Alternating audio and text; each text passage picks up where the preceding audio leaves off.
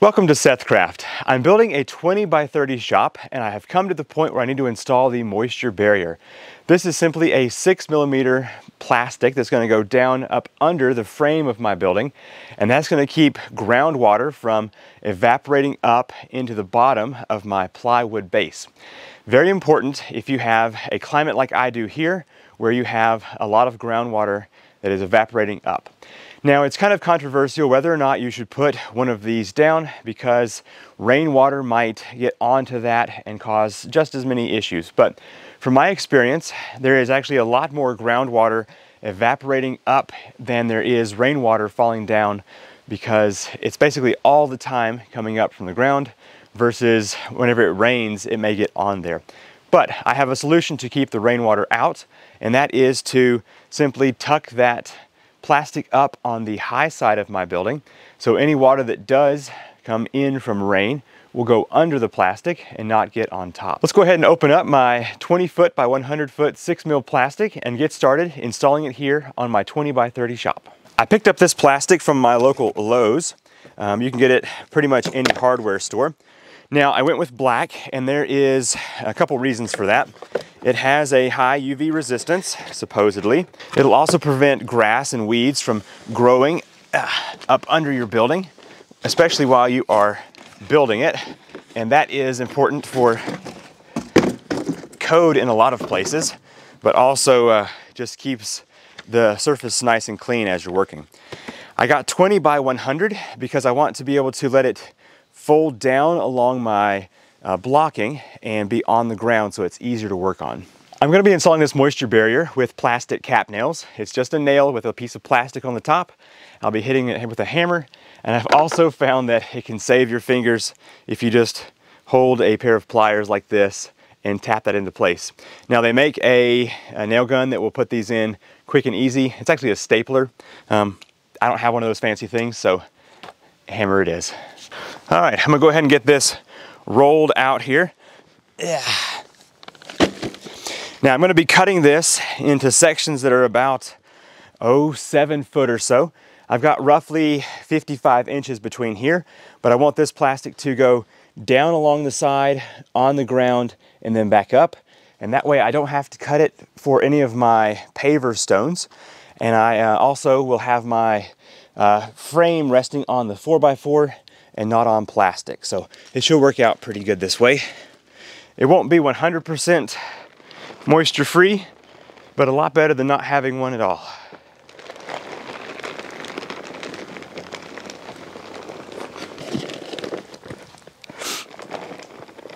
I'm gonna give myself an extra foot or two to work with over here and just cut this off before I unroll it. So hopefully it'll save some cutting time.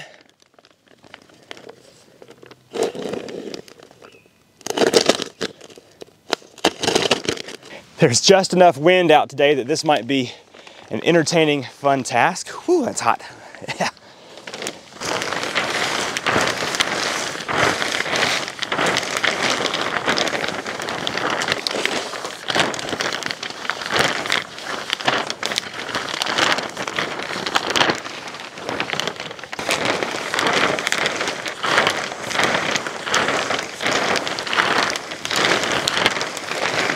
I'm going to start here on the high side.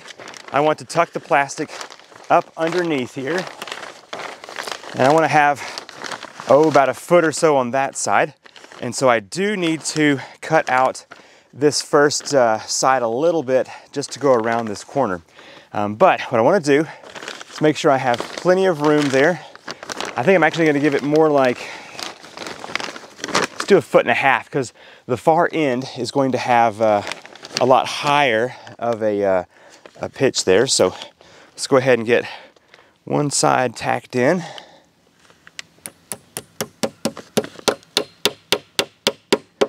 Like I said, you can use those pliers if you want to to uh, keep your hand from getting smushed. Um, but this wood seems to be soft enough that I'm not gonna have much of an issue.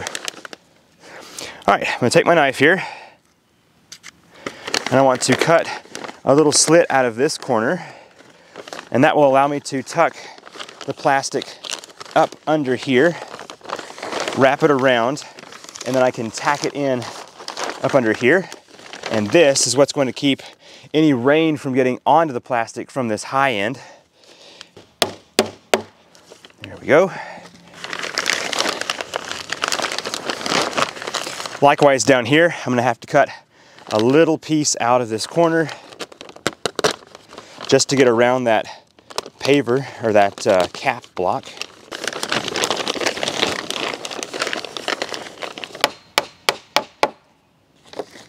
Now that I have the plastic laid in here, I'm gonna take a bunch of these uh, plastic cap nails and just tack that plastic into place, making sure that it has enough slack to reach all the way down here to the ground.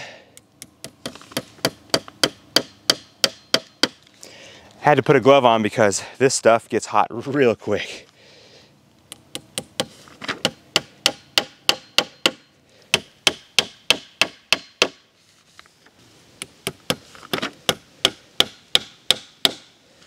In a similar fashion to the other side, I'm going to tack this side over here as well, just giving enough space there for that water to roll downhill if it ever were to get in here.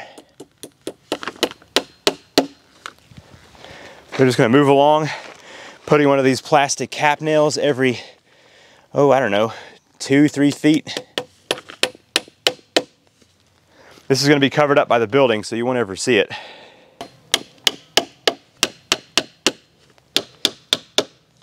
I've built four other sheds in my time. The very first one, I did not put any kind of moisture barrier up underneath the shop.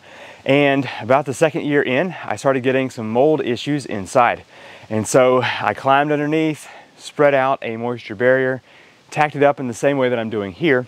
And I also put a second one up as an underpinning directly up on the base of that building. And I have had a huge difference in moisture content inside of the building. Now this one is going to have a mini split for both heating and cooling and that will help to reduce a lot of the moisture that gets inside of the building. But having this plastic down on the ground is going to make a huge difference not to have that ground moisture coming up and getting to the bottom of the building. I'm to also have some foam insulation board and that will be another method of keeping some of the moisture from getting from the ground up out. All right, I'm covering up this last bit here. I only had a 20 foot section of this plastic and so I have to install this other 20 foot section in order to have the full thing covered. Now initially I thought I was going to cut down on those uh, skids to expose the wood to have more friction but since I'm going to be putting three and a half inch screws on every one of my joists to attach to those skids I thought what's the point?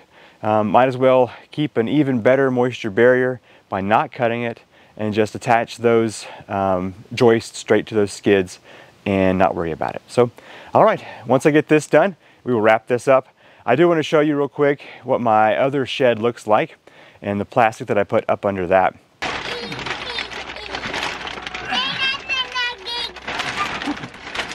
That whole side is done. Over there is done.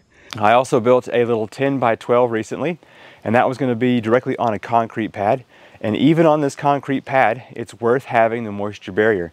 If you were to take a trash bag and place it on the ground or even on that concrete, come back after a warm day and lift that up, you will see some moisture that has built up on the bottom of that trash bag. So the ground puts off a lot of moisture, definitely worth protecting your shed with this kind of a six mil plastic.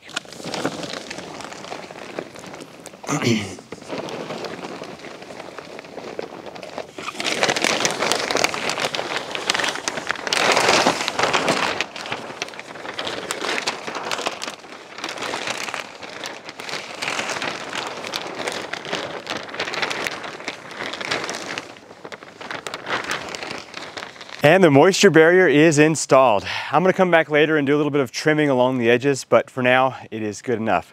Let's take a look around real quick. On the high side, I folded up the edges so water can go underneath. It has been tacked down so that it won't blow around in the wind. As you can see, I've made kind of a little uh, trough here so I can still walk around in there to put the frame in, but it'll let the water slide on down that way.